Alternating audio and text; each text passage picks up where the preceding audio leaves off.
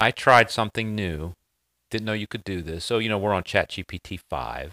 Mm-hmm. And I don't know if there's, I think there's more than one version of 5 now. They, first Yeah, it they was have, like, all one, and then, They have various Yeah. types. There's a, an advanced one called ChatGPT 5 Thinking, yes. which takes a lot longer Yes. to respond because Yeah. it's a more thorough response. So I finally was like, look, I want, I, I want some alerts. I want to do some tasks. So I wanted some information and I wanted to keep it up to date. All I did was, for example, um, a certain company I wanted to follow and I was waiting for a report. Uh, companies put out these 8Ks and it talks about what's going on with the company at that moment. So I can never keep up. I'm not, how am I going to know when they publish? So I said, look, ChatGPT, uh, I want to set up a alert. If there's a new 8K released, let me know. And then I was like, and it it just did it verbally, set it up. I was like, what? So then I said, okay. So I put in five other things that I wanted to do. And then what happened though? This is what where it got weird.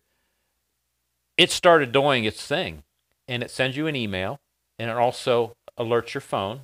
There's settings in your settings where you can tell it to push email or toggle your phone. Okay, great. I was like, this is great. All of a sudden, though, it went bananas. Every hour, 24 7, it was sending me alerts. My oh. email Oh. box got like this. So I go on there and I'm like, stop. I don't want these alerts. It says, okay, no problem. I'm going to stop the alerts. Okay, great. So five minutes later, here they all come again.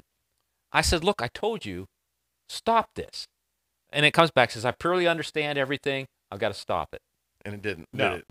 So my I finally figured it out. And this there's no way this is crazy. I'm only telling you this because now you might want to set something up. You can control it, but you have to go onto a desktop, go to your chat GPT, click your face, click notifications, and then there's a push, and then there is a um, like a text thing or whatever. Way underneath is this tiny, tiny thing that says um, to stop. Like you, I didn't see it. I went there over and over and over. Like I can't find it. Can't find it. Can't find it. Well, then you click it, and then it has all your alerts spelled out for you right there. And you can go up next to it and just hit delete, delete, delete. Piece of cake. Once you know what you're doing,